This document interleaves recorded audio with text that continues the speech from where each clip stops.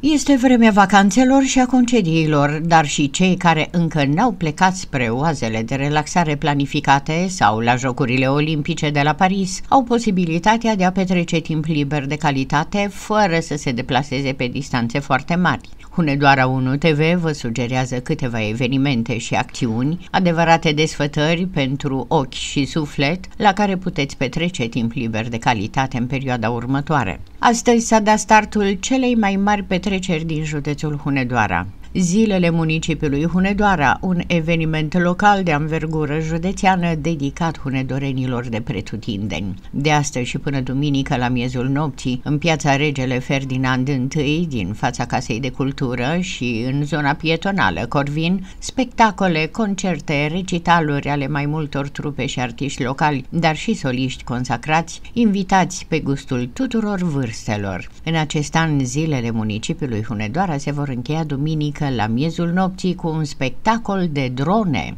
Mare sărbătoare mare în acest weekend și în comuna hunedoreană Luncoiu de Jos, unde se va desfășura o nouă ediție a manifestării intitulate Sărbătoarea Luncoienilor, cu o mulțime de acțiuni. Competiții de off-road, ciclism, fotbal, incursiune în tărâmul celor de la Terra Dacica Eterna, spectacol folcloric și un final cu foc de artificii. Tot trei zile, adică de astăzi și până duminică, se desfășoară și Festivalul Plăcintelor Pădure românești de la Poiana Răchițelii din comuna Cerbăl. Evenimentul a ajuns la a cincea ediție, are un program variat și se adresează tuturor categoriilor de vârstă. Ziua de duminică este rezervată în mod special momentelor tradiționale ale comunității locale, activităților interactive cu copiii și concursurilor inedite. Festivalul se va încheia cu un spectacol folcloric susținut de cunoscuți interpreți de muzică populară din județul nostru. Sau puteți descoperi descoperi frumusețile și tradițiile autentice ale țării Zarandului, vizitând câteva locații deosebite, cum ar fi Muzeul Aurului, unic în Europa.